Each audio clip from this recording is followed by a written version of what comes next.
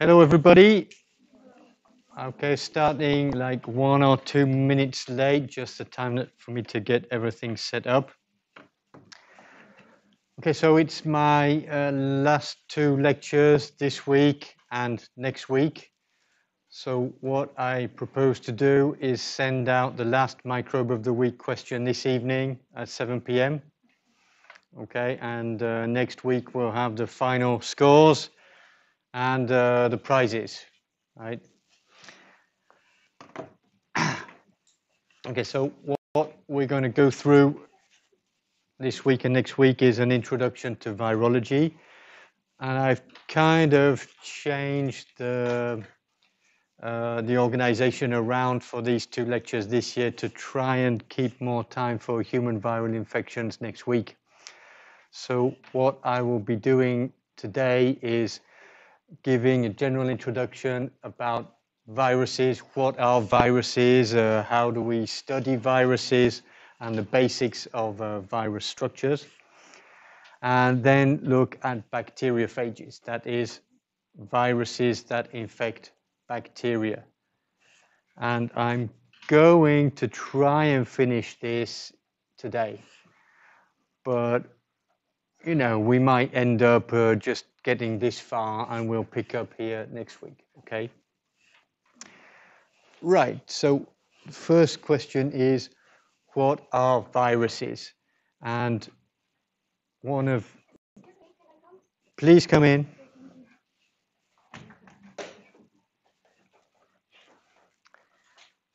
Okay, what are viruses? And one thing that everybody has to be clear about is that viruses and bacteria not the same thing at all. Now, what do I mean by that? So if you think back like 100 years ago, what was the definition of a virus in 1920? Then it would be something like this, you know, uh, a virus is a filterable infectious agent. So we can infect an animal or a plant, and if you take the infectious material, like the leaves of an infected plant, and you grind them all up, and you pass that material through a filter with a pore size that's small enough to block all bacteria, then the virus goes through the filter. So what does that mean? That means that the infectious particle is way smaller than a bacterial cell. And that was pretty much, you know, the definition of what a virus was 100 years ago, based on the physical size of the infectious particle. So that was pretty useful as a definition because it gave you some practical test that you could do and you would get an answer. Is it a virus? Is it uh, some other kind of microorganism? So it's very, very useful. But it doesn't tell you much about the biology or the characteristics of what viruses are, apart from they are small, it tells you that. So viruses were studied, you know, first in bacteria and in animal models in the 19 well, first half of the 20th century. And this was kind of the beginning of molecular biology. And from the 1940s, it was possible to visualize virus particles by electron microscopy. So they started to become, to, to started to be more and more information about the fundamental nature of viruses available in the 1950s. So André Lwoff at the Pasteur Institute tried to bring together what was known about viruses at that time in what was called the modern definition of viruses. So these are the, the different criteria that the Lwoff uh, proposed as to what a virus is. So uh, he carried on with the criterion of size. So the infectious particle is less than 250 nanometers in diameter. So this is just saying the same kind of thing as this. Then when you look at particles, they have one type of nucleic acid, virus particles, RNA or DNA, but not both. And this was a fundamental difference compared to cells, because any type of cell bacterial cell, human cell, plant cell. The genome is in DNA, and the cells also contain mRNA, rRNA, and tRNA. And that's true for any kind of bacterial cell, even a latent form like an endospore. And this is really a fundamental difference between viruses and cells. And then the other parts are a little bit about the biology of viruses. Okay, so uh, viruses are obligate intracellular parasites. They can only replicate inside a, a cellular host. They need a host because they don't carry their own enzymes for producing metabolic energy and they cannot produce their own proteins. And another thing that is very interesting is when you look closely, you can see that viruses do not replicate by binary division. So I'm going to look at a few of these criteria in a bit more detail. And one other thing that is also true, uh, was you can add, is that no virus codes for ribosomal RNA in its genome, which is really very, a very surprising thing because as we saw in the bacterial taxonomy, this is one of the most conserved molecules in the whole of the biosphere. Archaea, eubacteria, eukaryotes have all got ribosomal RNA.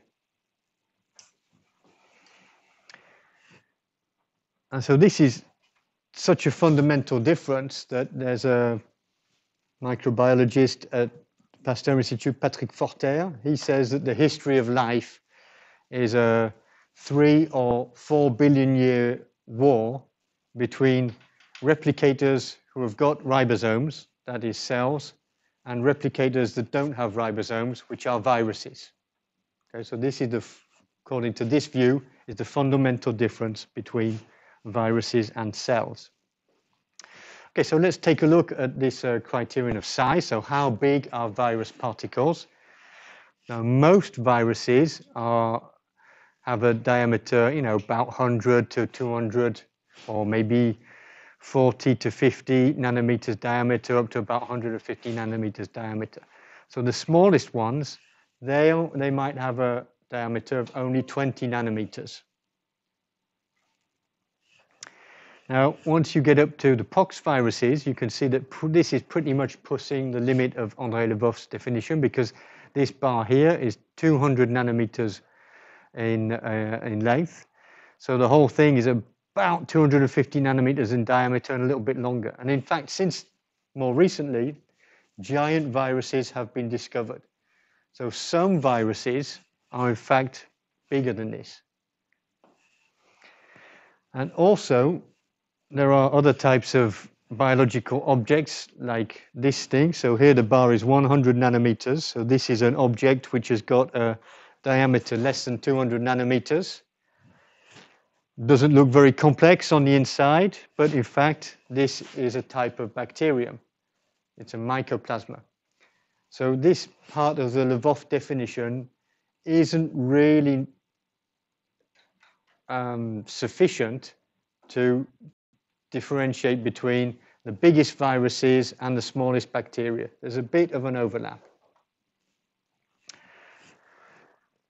Okay, so the next thing is viruses are obligatory intracellular parasites. That is true of all viruses, but it's also true for some bacteria. So Mycobacterium leprae, you know, causes leprosy. It cannot grow in a culture medium. It can only grow inside a host cell. And that's true for chlamydia and rickettsia as well. So these types of bacteria have become obligatory intracellular parasites. So related to that is the idea that viruses can't produce their own metabolic energy or their own proteins. Now, some intracellular bacteria produce their own ATP. You know, they eat stuff inside the cell and they produce their own ATP. Others actually don't bother. They just import ATP from the host cell. They have an ATP ADP co-transporter, so they export ADP and they import ATP. However, all of the intracellular bacteria produce their own proteins on their own ribosomes, whereas all viruses require the host cell ribosomes to produce viral proteins. Okay, and the last thing that I want to look at again is this idea that viruses don't grow and divide by binary division. So if you think about any kind of cell, when the cell grows, you start with one cell, gets a bit bigger, gets a bit bigger, and then finally divides and you have two cells. Okay, that's binary division. Or budding, it's the same kind of thing. Now you could imagine that perhaps viruses do the same thing. So you've got a virus particle and when it's going to start to grow, it's going to get bigger and bigger. And then finally you'll get two virus particles. That would be the equivalent for viruses. In fact, that does not happen. What happens is that at some point in the viral infection cycle, the virus particle dissociates and liberates the virus genome. Then what occurs is inside the cell, you get lots of copies of the virus genome, lots of copies of viral proteins, and then they associate to form new particles. So it's kind of like uh, building a kit out of bits of Lego or something. Okay, you've got all the parts and uh, you build them together and you make new, new virus particles.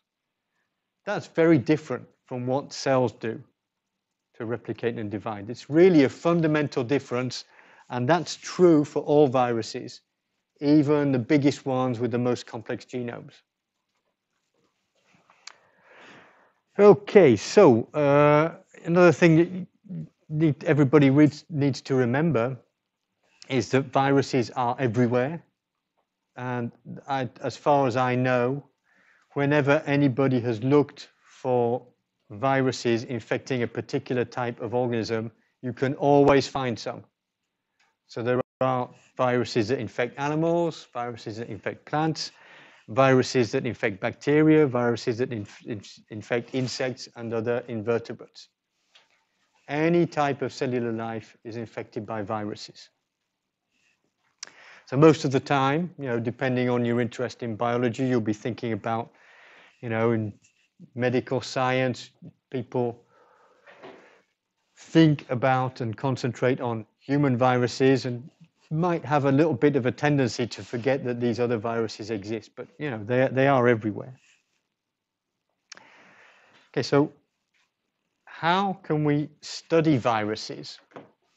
Because they are so tiny, you can't see them in the microscope. In the lab classes tomorrow, you'll be able to see bacteria under the microscope. You can't see viruses. And because they are obligate intracellular parasites, you can't grow them in a culture medium. So, you know, these are, these are two kind of problems in virology. So in order to, you know, get some viruses to study them, every virologist needs to have a system to produce and purify viruses. And then once you've done that, you can try and like grow them up, purify the virus particle, and then try and analyze them by some kind of physical chemical technique and find out what they are. Now, the other way to, to, to, to study viruses is to try and analyze them in situ, which I, by which I mean inside infected cells or inside infected organisms.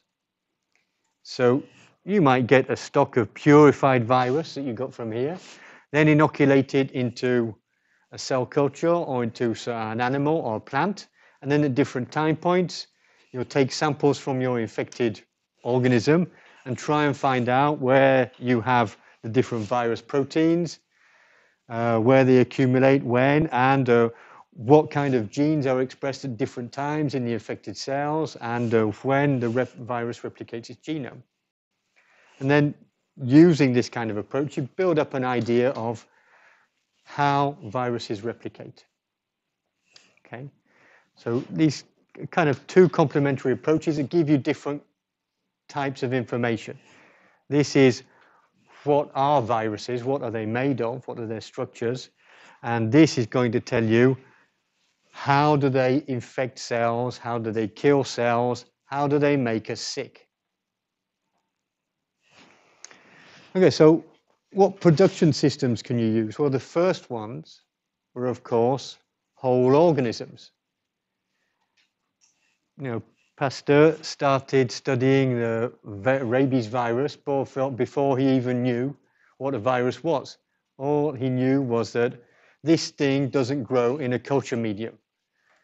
So, but I know it affects people's brains. So I'm going to try and get a brain from an infected person, mush it up and inoculate it into the brain of an animal and it worked. You know, we could uh, uh, cultivate the virus from one animal to the next. So, you know, live animal inoculation, your virus will grow up in the organism and then you can extract it and uh, uh maintain your virus stock. Also, same thing was true for plants. You can get infectious tissue from one infected plant, grind it up, and just, you know, inoculate the plant and it will also get sick. So first studies were with whole organisms.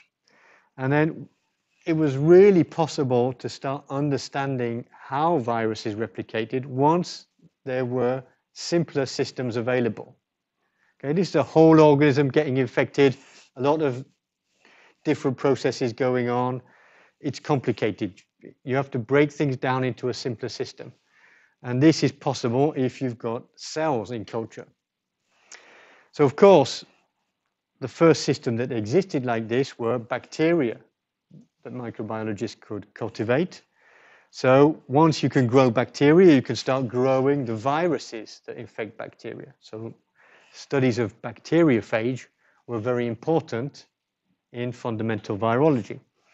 And then really from uh, the end of the 1940s, cell culture became readily available and it was possible to study animal viruses in this kind of simple system. Okay, so you've got different production systems. You can grow your virus. Now, if you want to purify it, the classical technique is to use ultracentrifugation on a gradient of sucrose, uh, cesium chloride, or other chemicals that form a density gradient. So you have the gradient here. So down here is very, very dense. So higher concentration of sucrose or cesium chloride, lower concentration up here. You put your raw extract containing viruses up here on the top. Then you put it in the centrifuge and you spin it really, really fast for overnight. That's what you often do. And what will happen is the virus particles, which are denser than a soluble protein, they'll be pulled down into the gradient and form a band where the density of the virus particle is the same as the density of the material that forms a gradient. Whereas the soluble proteins, they stay up in the top. Okay, so here's an example. Now this is a density gradient. These virus capsid proteins have been labeled with a fluorescent molecule. So you can see uh, the bands here. That's me. So you've got your purified virus particle. So you've got the band of purified virus in a gradient. Then what you can do is look at the particles by electron microscopy. So this is data from a paper from a while ago now, but you can see you've got purified virus particles. So these are pox viruses. And then you can uh, analyze the different proteins in the virus particles by uh, gel electrophoresis, for example. And you can see that there are a lot of different proteins in these particles. So this is an unusual example. Most of the time in a virus particle, you'll have one, three, five, maybe 10 structural proteins in a virus particle. And this number of bands that you can see here is unusual. Okay. But you can see with this kind of technique, you apply it to all sorts of different viruses, then you can see what kind of shape they have and how many different proteins there are in the virus particle. Okay, so once we can do that, you can start trying to classify different types of virus based on their morphology. So this was really the first thing that was done to try and classify different groups of viruses from the 1940s onwards, because electron microscopy, I think, was invented just at the end of the 1930s and became uh, widely used in virology from about the 1950s. So for the first time, it became possible to actually see and visualize virus particles. So what do you see? Well, first thing is that, you know, virus particles really fall into two categories. They are either non-enveloped or naked virus particles, and they are formed by the genome on the inside, RNA or DNA, surrounded by a protein coat called the capsid. And capsids can have two different types of symmetry, helical, so you get particles which are rod-shaped, or icosahedric, which gives kind of spherical particles. And bacteriophage often have a kind of mixture of these two elements, an icosahedral head and a helical tail. This is a bit of a bad translation from French, I'm afraid. So icosahedral, it should be in English. now, the other main type of virus particle are enveloped particles. So what you have here, you've got genome capsid, so a nucleocapsid on the inside, and it's surrounded by a lipid envelope, which is derived from one of the host cell membranes. And what you can see is that either well, what you can. So envelope viruses are called either simple or complex. If they're simple, that means you've got one of these two different types of nucleocapsids on the inside and just with an envelope on the outside. And complex virus uh, envelope viruses, well, you know, it's, it's more complicated. So this is a pox virus again. It's got this kind of double membrane structure and the part in, on in the middle on the inside doesn't really correspond to either a spherical capsid or a, or a helical capsid. Now, many virus families have, uh, were named because of the way they look in electron microscopy. So, you know, coronaviruses, you know, they've got a crown of the spike protein around the outside of the particle. Uh, Caliciviridae, so these look like a kind of chalice, apparently, you know, the, and arena viruses. Okay, this is not like two guys in armor trying to kill each other. It's apparently because the inside of it looks sandy, like arena is sand. Okay, so, and also, you know, some of some viruses have got a very, very specific morphology. So anybody who looks at this can say, oh, that's a pox virus. If you look at this kind of thing here with an envelope virus, looks like a kind of bullet or something, this is a rhabdovirus. Very, very typical morphology. So it's useful. You know, electron microscopy was useful for you know, grouping viruses into families and identifying them. Okay, so let's have a little bit of a closer look at the two types of capsid uh, uh, architecture. So the simplest one is uh, helical symmetry.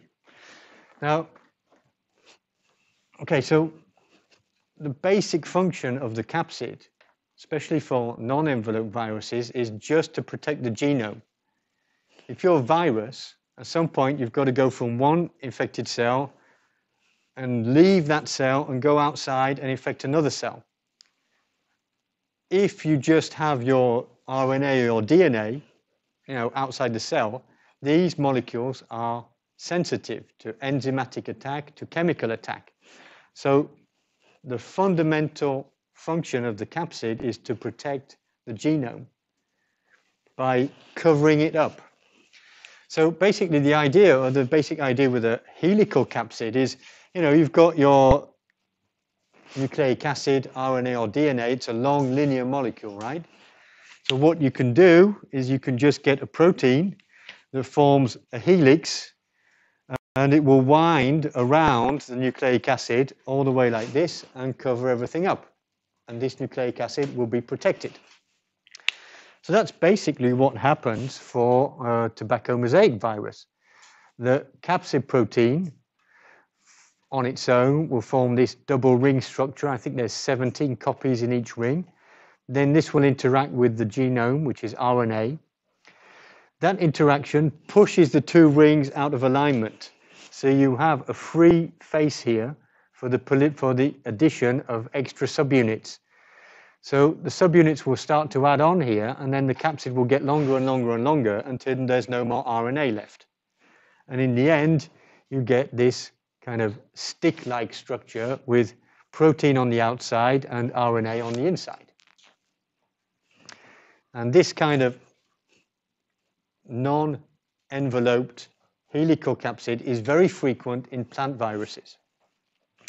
Now in DNA viruses, ah, DNA, animal viruses, you only find helical capsids in envelope viruses. So you have this kind of thing like this. This is Ebola virus. You can see it's a, you know, filamentous uh, helical capsid, but it's got an envelope.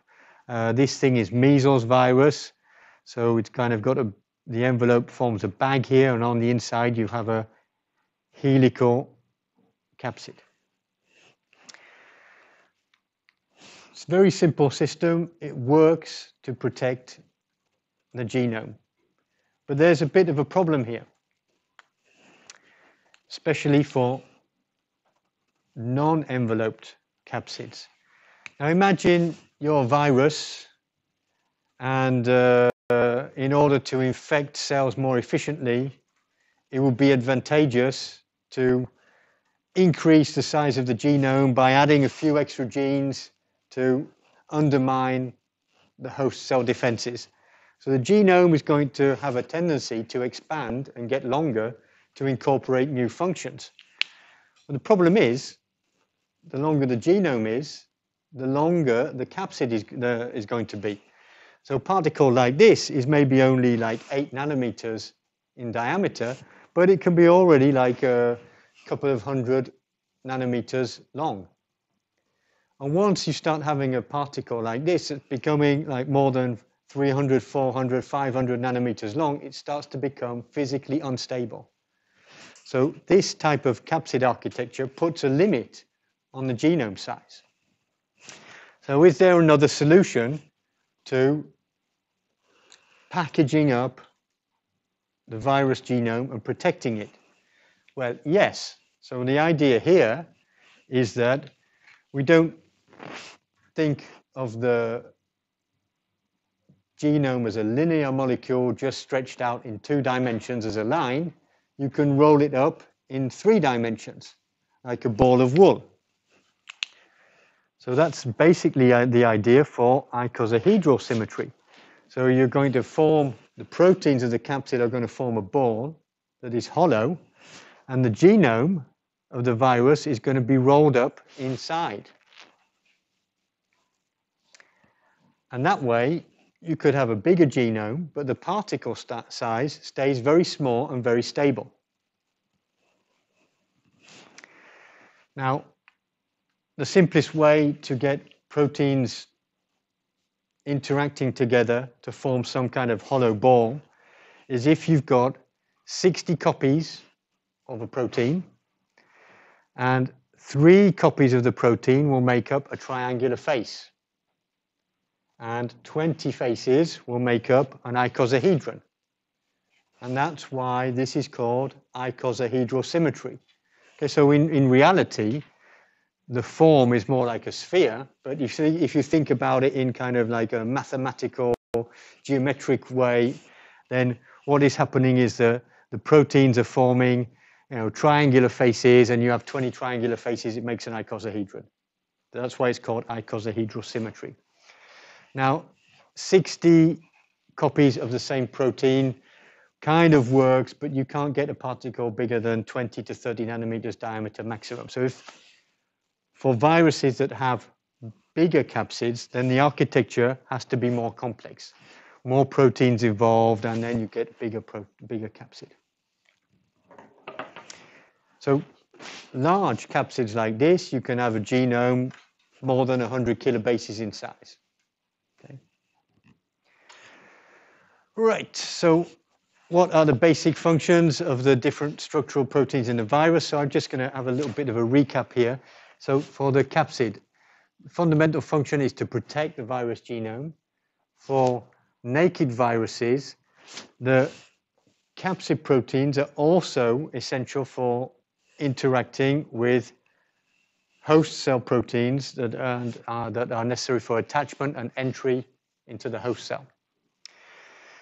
Now, just to try and illustrate this,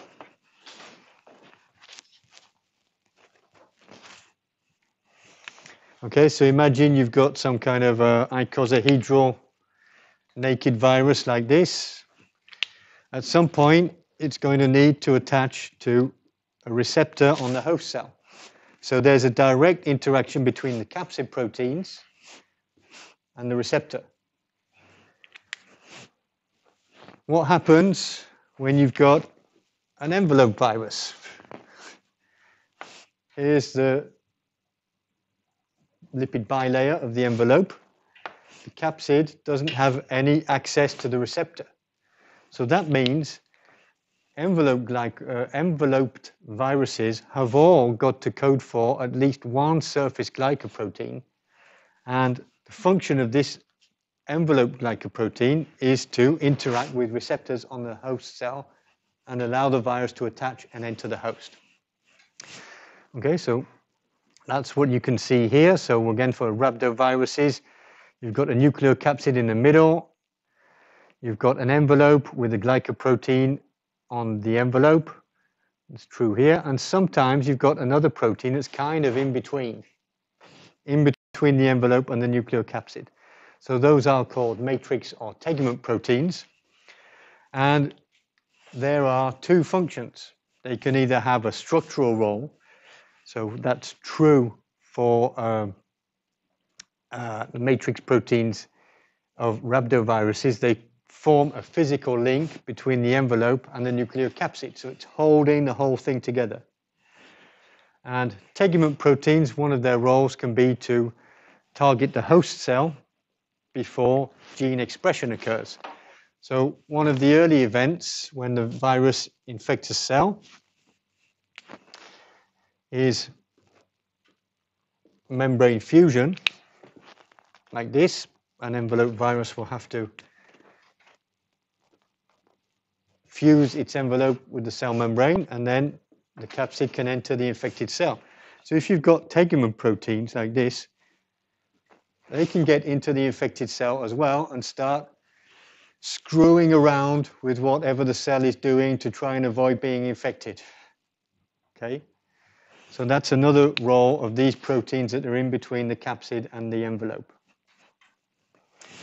Okay, so I think that's about time to have a little break. So this is the summary so far. What viruses are, what the basic techniques in virology are, and the basic elements of capsid structure. So here's a little question for you to see if you've been following. Let me just open this up.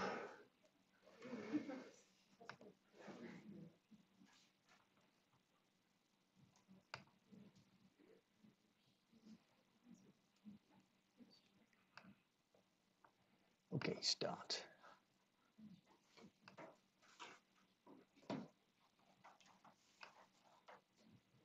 Has it started? Maybe. Now start. Ah, okay, yeah, should be started now.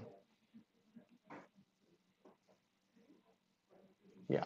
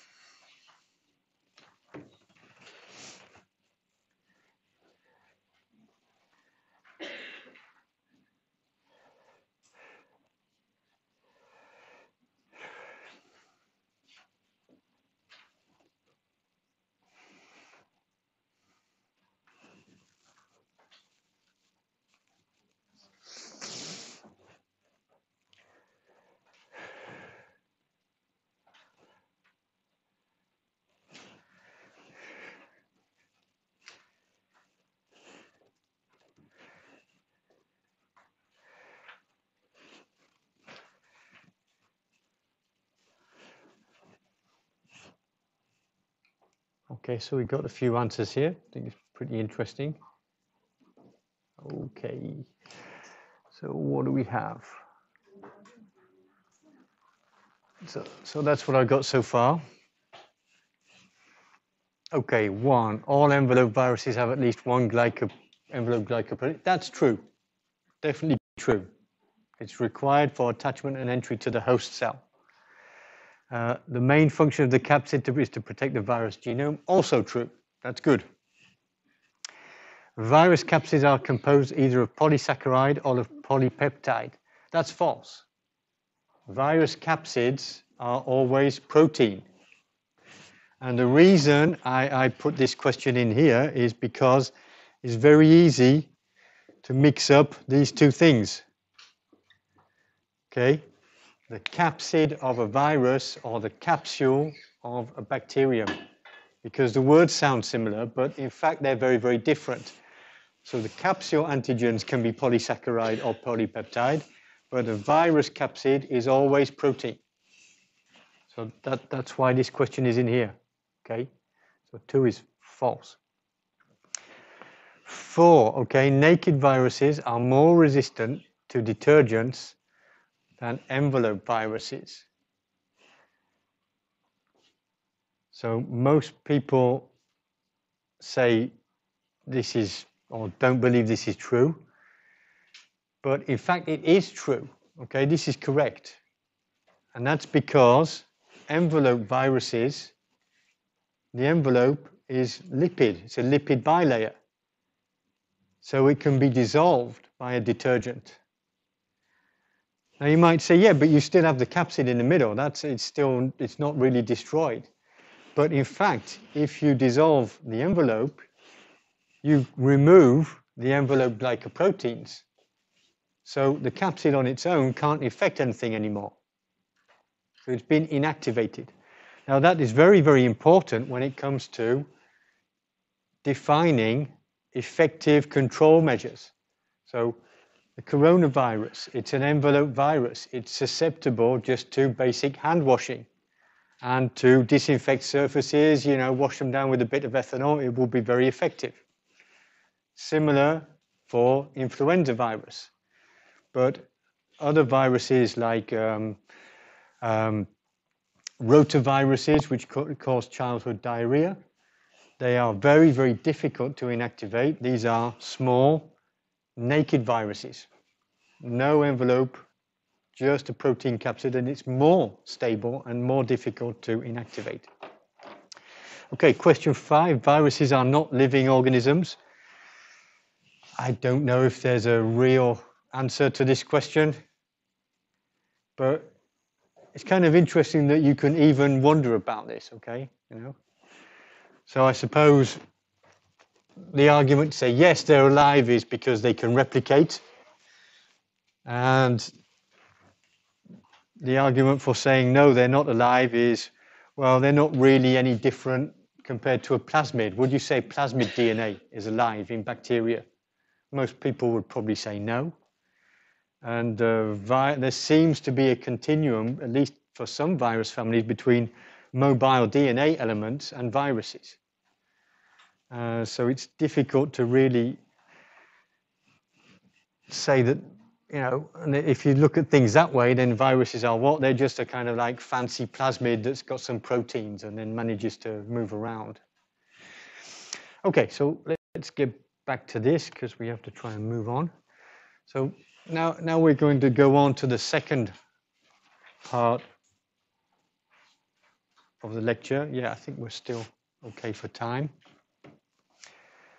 And we are going to talk about bacteriophages. So bacteriophages, which are viruses that infect bacteria.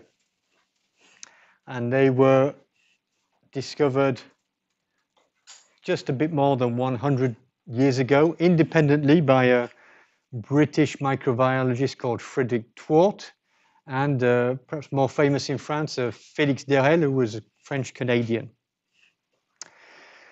Now, basic things you need to know is that you can count the number of infectious bacteriophages with a plaque assay. So when you want to count bacteria, you spread the bacteria on an agar plate. And it works because the bacteria can use the agar to grow, okay? Use the uh, peptones and the yeast extract to, to, to, to, to grow. So bacteriophage, they don't eat peptones. They don't eat glucose. They eat bacteria. It's in the name, right? Bacteriophage. It eats bacteria. So if you want to grow bacteriophage, you spread them on a plate that has got something they like to eat. That is bacteria. Okay, so you you make up your agar plate with a load of bacteria in it, and then you spread the bacteriophage. And if you have a series of dilutions, then you'll have one plaque corresponds to one infectious virus particle.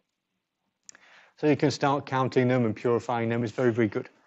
So if you pick out one of these plaques, this contains the progeny virus from one infectious particle. So this is a kind of like a pure culture. In bacteriology, it's very important to start from one colony. In virology, it has been very important to get purified virus from one plaque. Now, bacteriophage was the first type of virus that anybody could study in any detail. And they were very important in molecular biology because they were the simplest type of replicating biological entity.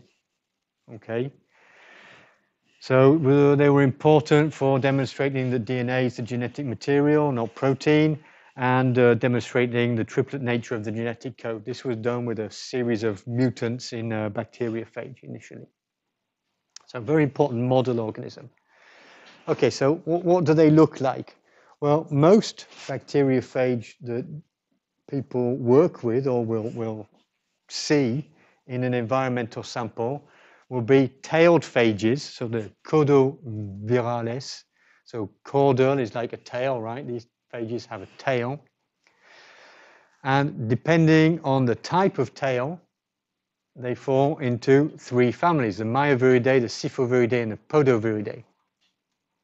So Myoviridae, like T4 phage, they have a long contractile tail. The Siphoviridae, like lambda have got a long flexible tail like this one, which doesn't contract. And the Podoviridae, like T7 phage, T7 phage rather, they have a kind of icosahedral capsid and just one, some kind of base plate attached here. So it's like a foot, okay? It's not like a tail, it's like a foot on one of the vertices of the icosahedron. So those are three main, well, the three families of the myo, of the codo of the virales, the tailed phages. and they have slightly different biologies. Okay, so uh, Myoviridae and Podoviridae are generally lytic.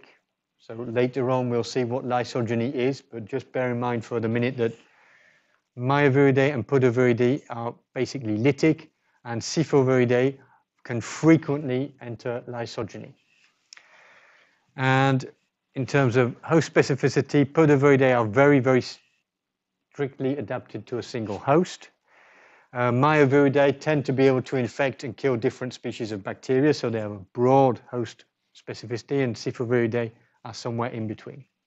So most bacteriophage look like this, and these are phage which have double-stranded genomes, double-stranded linear DNA inside the capsid.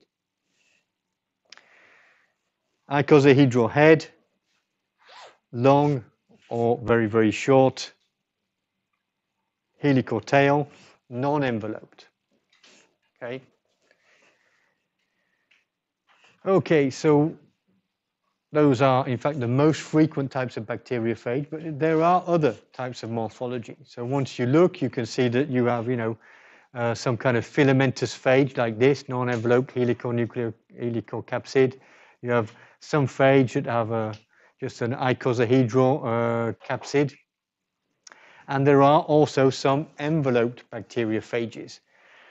Now, uh, with very, very strange morphology, morphologies, and these are weird bacteriophage that grow at a very low pH and at temperatures, you know, above 80 degrees centigrade. So Sulfolobus, this is an extremophile archaea.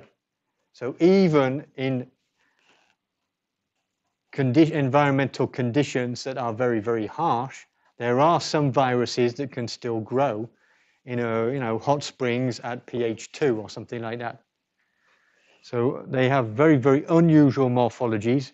So it's just to show that in fact you know most people when you talk about bacteriophage you think about something like this. And then there are other things out there, okay? And we know a lot more about the biology of these types of viruses than we know about these guys. Okay, so once you look carefully, you can find bacteria, many species of bacteriophage that infect the same species of bacterium. So just looking at Escherichia coli, the T-even phages, so T2, T4, T6, they're very, very similar. So I don't know if they, you can say they're different species, maybe yes. And the T-odd family you know, uh, several species, and then the Siphoviridae, uh, filamentous phage, and then icosahedral naked phages. So you've got easily 10 or 20 different species of phage inspecting one species of bacterium. And then once you start looking, you can find bacteriophage that infect all types of bacteria. You have phage that infect gram negatives, gram positives, mycobacteria, and archaeobacteria. So phages are everywhere. So you have a lot of diversity in bacteriophages, probably more than you have, you know, in uh, microbial bacterial genomes. Okay, so I've got a few questions here just to try and illustrate how many viruses and phages exist in the biosphere. So just think about the oceans, okay? So uh, probably it's a little bit late in the year, but if you go down to Pornic, can go swim around in the sea. And if you're a bit unlucky, you might uh, swallow a mouthful of seawater. So even though uh, the water at the beach is very, very clean, there will be a whole bunch of bacteriophage in that sample. So my question here is, you know, how many bacteriophage will you have in one ml of seawater? Okay, think about it.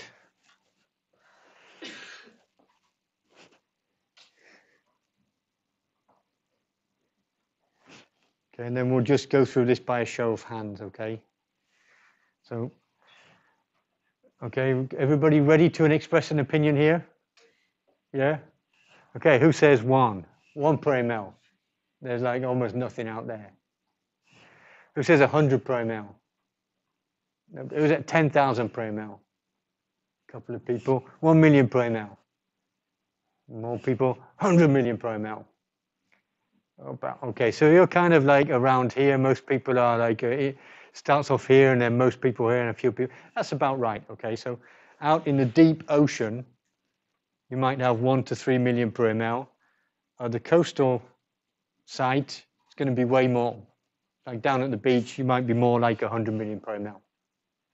Because the, the environment is richer, you have more microbes, you have more bacteriophage. But for, you know, the most of the ocean, 1 million per ml. Okay, so the oceans are pretty big. So how many bacteriophage are there going to be in the whole of the world's oceans? Okay, just look at those numbers for a second. Ready to guess? Who says we got 10 to the 10 in the whole of the world's oceans? No way, it's way too small, right? 10 to the 20. Now, 10 to the 30. A few people. 10 to the 40. Wow, 10 to, no way, 10 to the 40 is a ridiculously huge number. It's actually, it's more like 10 to the 30. All right, so uh, th this is part of the problem here. I mean, I, I can kind of visualize maybe a million. You think about money, maybe you think about a billion euros or something. Already it's starting to become difficult to actually visualize this stuff, but 10 to the 20, 10 to the 30, 10 to the 40. I mean, can't, I can't really imagine how much that is.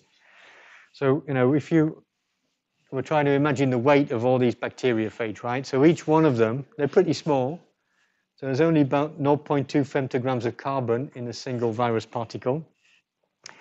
So we know that there are 10 to the 30 of them, so it's pretty easy to calculate how many, how many kilograms that makes, but just to make it more fun, so how many blue whale equivalents is that? all right, so if you put all the viruses together, that'll be the equivalent of carbon of how many blue whales, right? Okay, who says one? The blue whale is massive, right? Okay, because like a hundred blue whales. A couple of people. Who says 10,000 blue whales? A few more. A million blue whales. Nobody. A hundred million blue whales. So most of you are thinking it's around about here. It's something like 70 million blue whales equivalent of carbon. Yeah, it's about 70 million. So this is a huge amount of biomass out there in the ecosystem. So bacteriophages are the second biggest sink of carbon in the whole of the marine ecosystem. Number one is bacteria, prokaryotes. Number two is bacteriophages. And then you probably have, you know, other microscopic and marine organisms and then like the visible stuff with a smaller amount. So, you know, this is a massive amount of carbon in, in bacteriophages. So if you like strung them all together, how long would they be? Okay.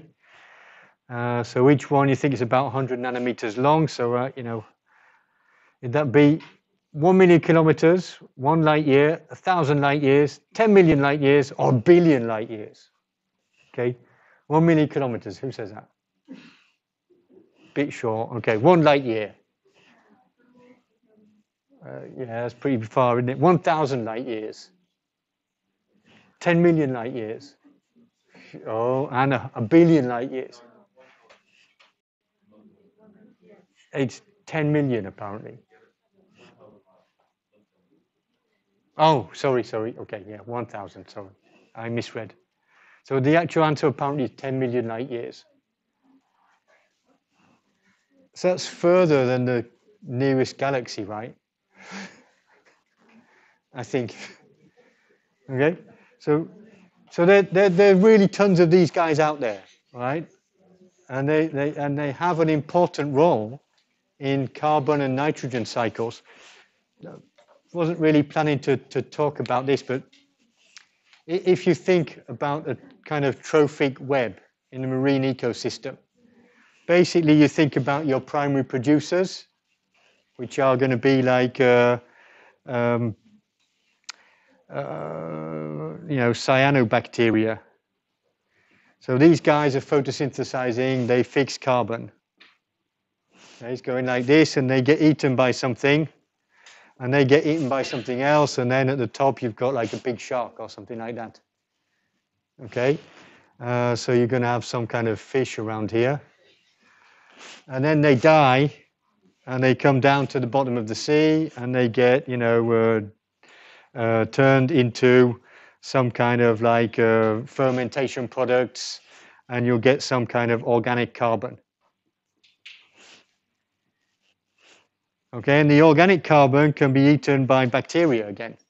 So you're going to have this kind of cycling effect like this. So you're going to have the, the, the primary production here, and then you know, bacteria getting eaten by bigger organisms, and then some of the carbon gets recycled by, uh, you know, after you die, you know, comes back. Now, what are bacteriophage doing here? Well, bacteriophage will be infecting these bacteria, the cyanobacteria here and the first heterotrophs, and lysing those bacteria and incorporating it into bacteriophage. So in fact, you'll have some of the carbon which is being recycled and some of it is going to become organic carbon. So the bacterium that's been killed by a, a phage is going to be exploding and releasing some organic carbon, which is available. This bacteriophage, if it can't infect a bacterium, it's just a piece of protein floating around. It can get eaten by bacteria. Okay. So in fact, what is happening here is the net effect is a lot of the organic carbon in the microbiome is being just recycled through lytic bacteriophage and less is available for the higher trophic layers. So this is a kind of like the organic carbon, nitrogen, sulfur shunt through bacteriophage. Okay, so that's bacteriophage in ecology. And, we, and we're just starting to really understand the impact of bacteriophage on, on, on, on these aspects of microbiology. Okay, so to get back to something more fundamental, okay, so earlier on I talked about how bacteriophage or viruses do not replicate by binary fission. And the first indications that viral growth or bacterial growth or bacteriophage growth rather, viral growth or growth or bacteriophage growth is fundamentally different to what you see in bacteria, came from experience, experiments on bacteriophage performed in 1939, Ellis and Delbruck, and what they were trying to do was determine the different growth phases of a bacteriophage, just like other microbiologists had done for bacteria. So the idea is you infect a bacterial culture with phage and then take samples out at different times and then titer the phage by the plaque assay. So at different times you've got these kind of curves which are uh, taken from you know the original paper about 80 years ago now. Okay, so the plaque assay, how does this work? So it's just like what you're going to do for bacteria, except so you start out by preparing a series of dilutions and then you inoculate 0.1 ml of each dilution into bacteria and soft agar. So you start out with your six plates and you put them in the incubator overnight and then the next day what you'll see is where it's really, really dilute, you don't have any infectious phage anywhere, so the bacteria, they just grow everywhere. When it's not very dilute, uh, all of the bacteria get infected, they all get lysed, so the whole thing is clear. And then at some point, you'll have a number of these plaques that you can count. So, you know, this is 83 plaques on the plate with a 10 to the 3 fold dilution. So that means you have 8.3 times 10 to the 5 PFU per ml, plaque forming units. Okay, so for bacteria, you spread them out and you get colonies, so you get colony forming units. Viruses, bacteriophage, you measure them in plaque forming units. So this works very well for bacteriophage and other viruses that, that give you a lytic infection and that where you have a good cell culture model. Now to understand what happens next, you have to be able to answer this question.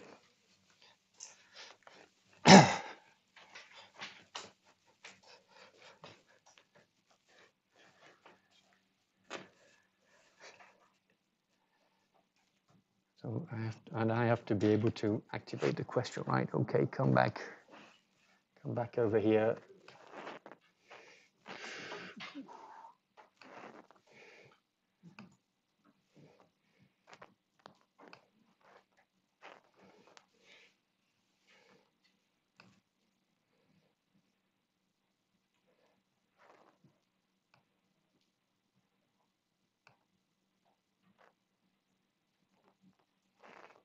Oh, come on.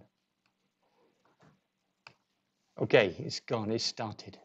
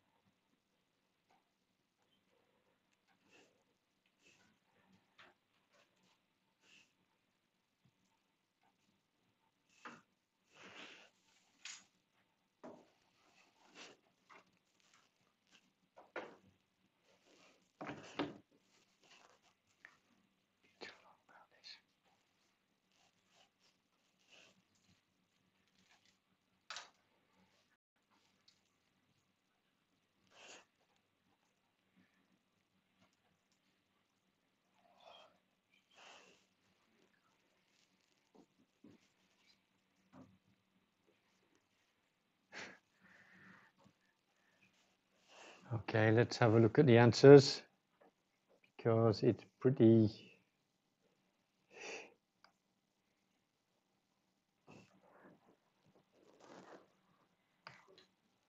Okay, so here's what the answers are so far. Pretty evenly split.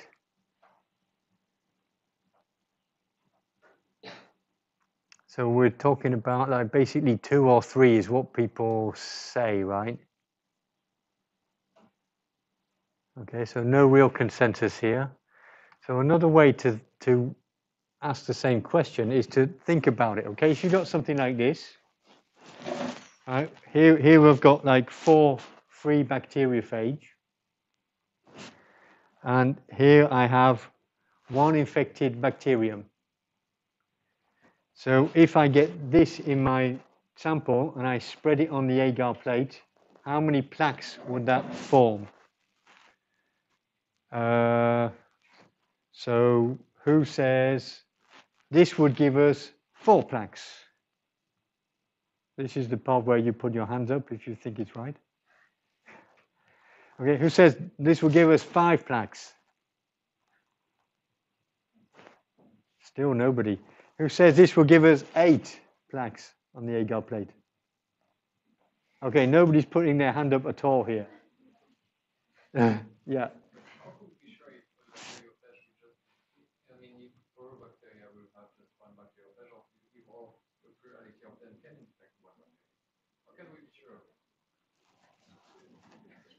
I don't understand the question. This, I'm saying that this, this is what you have in the sample, right?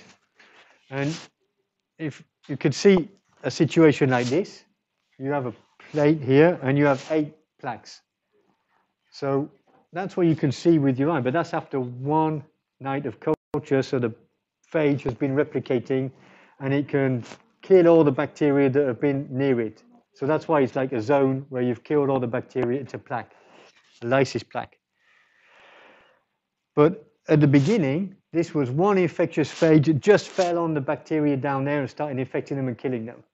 And the question is, do you get a plaque only with an uh, with a free phage, or with an infected bacterium, or with like a so so so that's why I'm asking you here how many plaques could this give? So we got like one, two, three, four free phage, one infected bacterium with some bacteriophage in the middle. Does it? Yeah. Ah, no, okay, good question. Thank you for asking that question, which was, what actually is a plaque? Do you mean a colony? No, I mean these things that you can see here. Can you see this, you guys? When I'm pointing at this? Yeah, I can see that.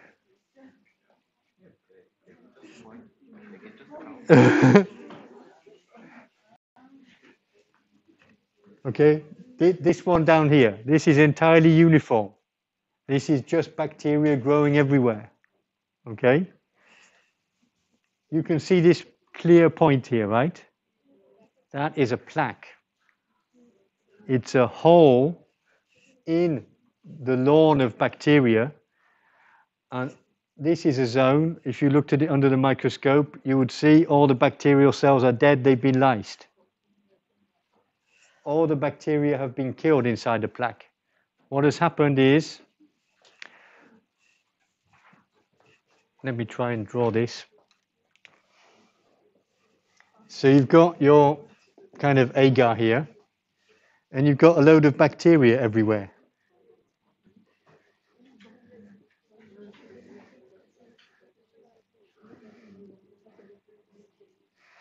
Yeah, excuse me why I, I, just draw every single of these many millions of bacteria on the wall. Yeah, right, okay.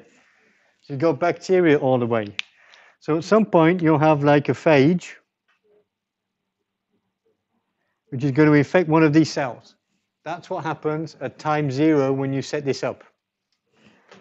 Now what happens afterwards? Once this cell is infected, it's going to be lysed. It will release other phage nearby and they'll infect the nearby cells. And they'll all explode as well. And afterward, after an overnight culture, that's why you can see this zone. Whereas all the other bacteria that are not infected, they just carry on growing and it becomes turbid. Okay, so that's what you can see here. So one plaque is an area in the agar where all the bacteria have been killed. But initially, it was just one phage infecting one bacterial cell here. Okay, thank you for that question because that's why probably no one could understand this part. okay, so the question is, if you've got like four three bacteriophage and one infected bacterium in the sample, how many plaques would that give you? Does everybody understand the question? Can you please tell me if you understand the question? Okay, good. So, who says it will give four plaques? Nobody. Who says it will give five plaques? Yeah. Who says it will give eight plaques? Okay, good. Five is the right answer. Five. Because when this falls on the agar, it's just going to release phage locally. So it's just going to be the same thing as if you had one virus, one phage infecting the cell. So you have like an infected cell first, and then it's only going to release its phage locally. So it will give you one plaque. So this guy gives one plaque, a free, doesn't matter how many are inside. Okay, it will just give you one plaque. So that means answer three is correct. Okay, that's the correct answer here. Okay. Yeah, so we have eight minutes. We'll just go through the next couple of slides and we'll stop after that. Okay, so I think it was useful to spend the time on this, just hopefully so everybody can be clear on this. Right. So this is this is kind of the interpretation of the bacteriophage lytic growth curve. This was what was found in the Ellis and Delbruck experiments, is that, okay, you always have a latent phase. The titer just seems to stay very stable, and then suddenly it goes up, and then it reaches a plateau. So you have a latent phase and then a release phase. And the idea initially was that, okay, so first you've got the virus, the bacteriophage, it infects the cell, and then later on it's going to uh, uh, replicate inside the bacterium. So you have more phage, but they're still inside. So this is one plaque, this will give one plaque. So that's why the curve stays flat. And then after a certain amount of time, the infected cells, they burst, they are lysed, and very, very quickly, it releases a lot of free phage, so you get this big jump in the titer. And then you have the plateau because there's no more cells around to infect. So they don't grow anymore. They just go through one lytic cycle. So that's the basic idea. Now, what you might want to do is, is it possible to count the phage inside the infected cell to test this idea? And in fact, it is possible to do this because these bacteriophage, they're myoviridae, tailed phages, non-enveloped capsid that resist detergents and uh, solvents. Whereas the bacteria, they are E. coli, they are gram-negative with a cell wall very rich in lipids. So what you can do is you can treat the sample with chloroform before you spread it out on the agar plate. This will lyse the infected cells and release the bacteriophage. So you can count how the virus particles that are inside the bacterium. And if you do that, okay, in the dotted line, this is the curve that we saw before, but in the red line, this is the results you get if you treat the infected bacteria with chloroform before you spread them out on the agar plates. And the big surprise here is what's called the eclipse phase. Very soon after the infection, there are no plaques at all. So that's a surprise. So what does that mean? That means that the bacteriophage just seems to disappear, it doesn't exist anymore after the infection. All you have is an infected cell. So you don't actually have the phage that goes into the bacterium. Just the DNA goes inside. And afterwards, you get the formation of new virus particles. So here, this is why the curve comes up earlier. So you do have an accumulation of phage inside the infected bacterium. And then finally, they're released. So this is the big surprise with this experiment, the observation that just after the infection, you have an eclipse phase and the bacteriophage doesn't really exist. So you can see this by electron microscopy.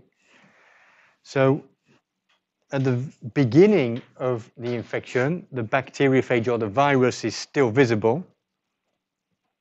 So here the examples are from a chlorella virus because the particles are bigger. Oh, if it actually wants to, oh, come on, man, you're supposed to. Yeah, there it is. Okay. So here's the virus particle. It's going to bind to the cell wall of the chlorella. So it binds, it starts to degrade the cell wall. And what happens is, well, you know, the DNA inside the virus is going to be injected into the infected cell. So that's why you don't have a virus anymore. A virus is a genome plus the capsid. After this phase, you've got the capsid is stuck on the outside and you just have the infected cell. And then you have the eclipse phase. Virus genes are expressed, the genome is replicated, and then you start to have new virus particles assemble inside the host. And they get more and more numerous, and then in the end, you know, the host cell is destroyed and they're released.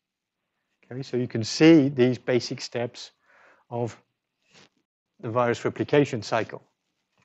So this kind of experiment was really the first step to understanding how viruses replicate. It's true for bacteriophage and it's true for every different type of virus.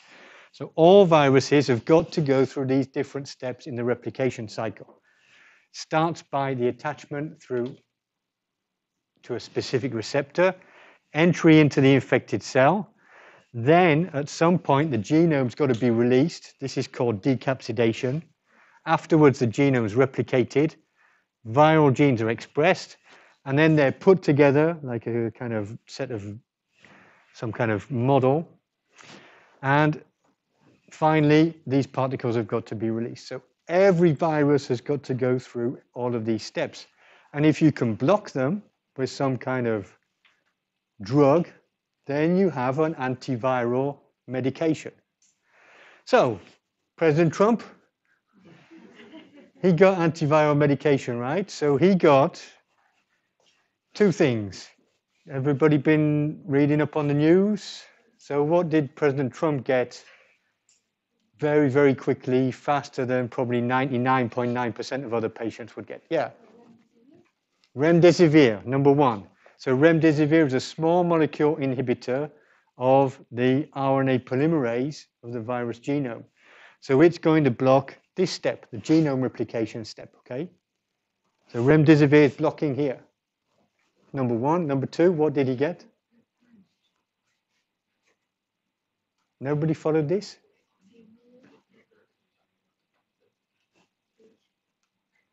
Anybody get this? He got a cocktail of two monoclonal antibodies that are currently in clinical trials with very promising early results. So the monoclonal antibodies, what are they going to do?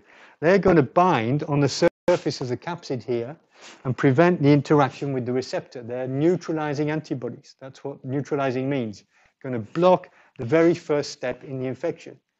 So President Trump, he got an association of two effective antiviral therapies, one that is acting on this attachment step and one that is acting on what happens inside the infected cells. And probably this association is going to turn out to be very effective. It's not because it, one person uh, had a very favorable outcome, but you know, if this, if this is trialed, I think in a couple of months, we might find that this is a very effective therapy against the virus. Okay, so I think that's probably a good place for me to stop. We'll pick up again from here next week. And don't forget, microbe of the week this evening, 7 p.m. If I forget, please email me or text me.